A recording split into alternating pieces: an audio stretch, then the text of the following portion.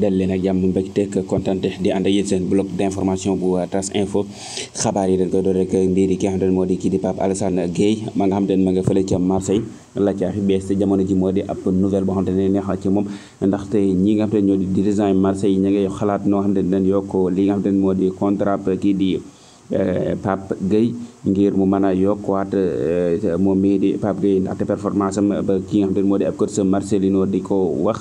te naan kat Pape Gueye moom waxtu bokkee ci match bet moom da koy ne def mu nekk titulaire ndax li nga xam te ne moo di performance yi nga xam te ne moom daal dina koy am ak it jaar nga xam te ne jaar na ko ca Séville gën na ko yee ci yu bëree bëri waaye daal la nga xam te ne moo ci euh, ñuul daal moo di moom Pape Gueye la mën a euh, renforcer waate lii di ay performance am ci jamono ji moo di mu moytandiku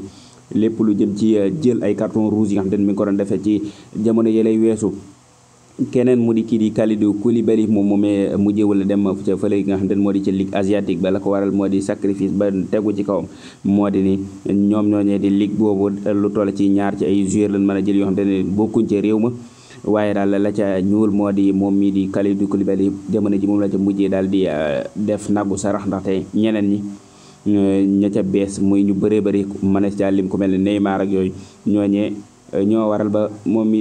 di Kalidou Koulibaly ñu daal di koy mujjee daal di euh, teg mu bañ a bokk ci ligue boobu noonu xamee sa ko ndax yenn journée yi dina football ak du football waaye daal première journée bi moom bokkul ci ñi nga xam ne ñoo ca war a football